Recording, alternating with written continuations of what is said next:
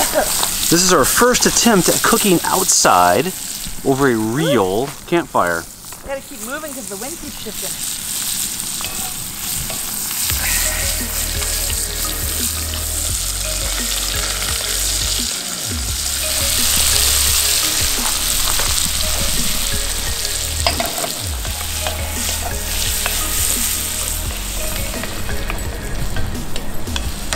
It is our last it is our last night here, so we decided to try something new. Yeah, it has this great fire pit set up. Steve made an amazing fire, so we thought we'd cook some potatoes, onions, and bacon over the fire.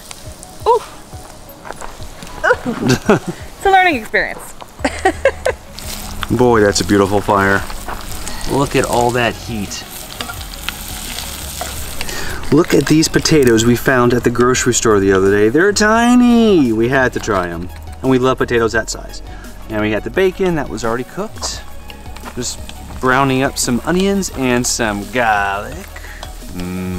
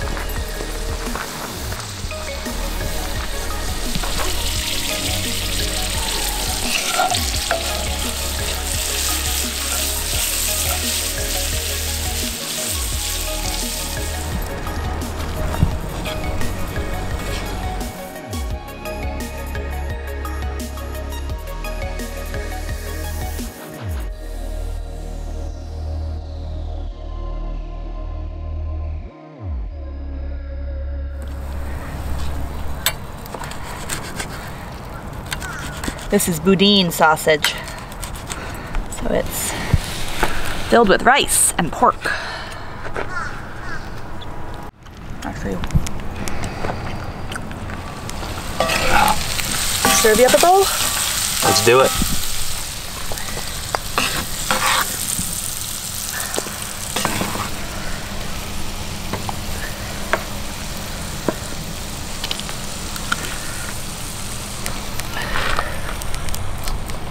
Hot sauce.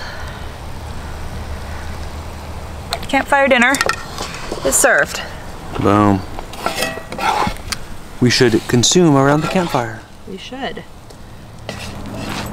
Where'd the big one go? Big one's inside. Ah, little one's here. She wants to eat some. Take a bite. Let's go. Let's see this. Let's do some avocado, onions, and a potato.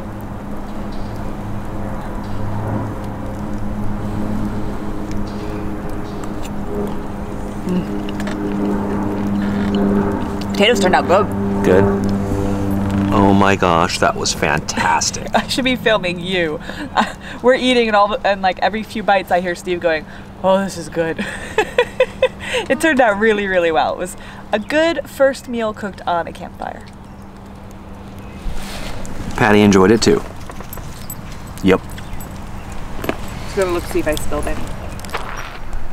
All that wood was piled high up to that grate and look. Oh man, it all disappeared. Burnt down to nothing. Isn't that right, Penny?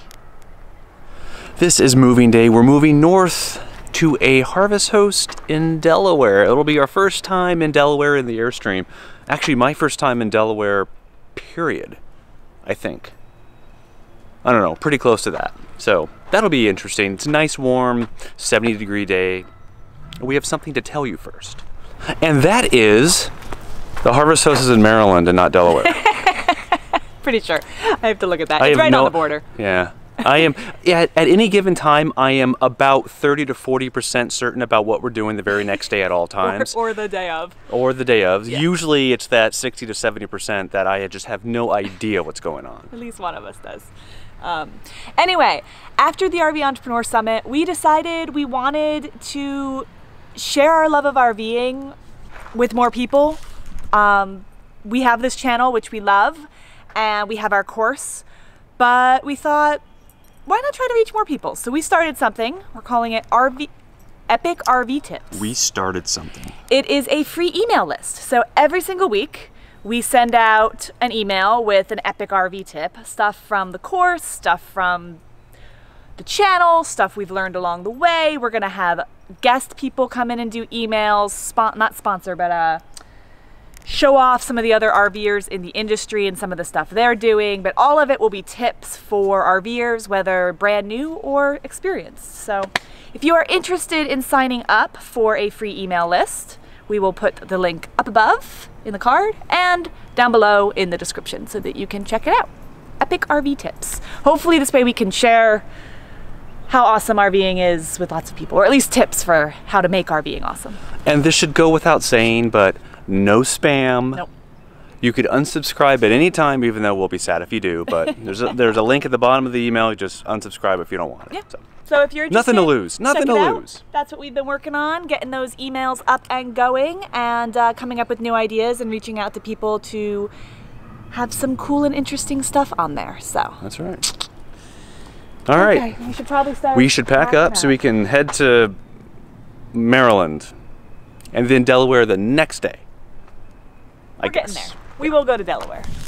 I We'll promise. I promise we're going to Delaware. Okay, perfect. All right, time to get packed up. The first thing I do is put the bikes on the front of the truck. Then I move over here and start disconnecting all the hoses and stuff. Right now, this is only electric, so I only have one to do.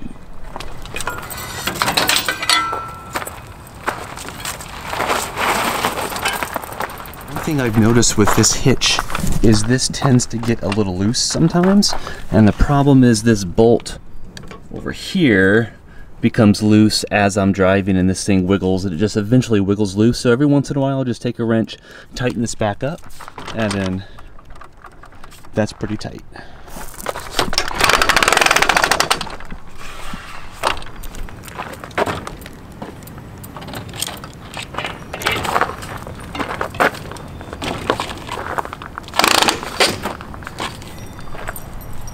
Yeah, don't don't rush. Don't rush, Penny. Yeah. And it is as simple as that. Took a grand total of about 20 seconds. I love this thing. Forget to plug. Oh yeah. The thing that I always forget.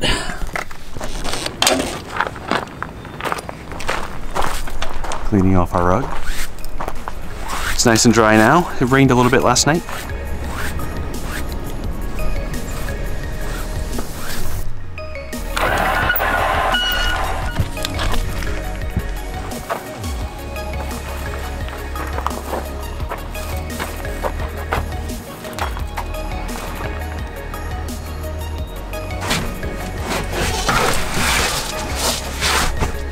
One last thing before we go.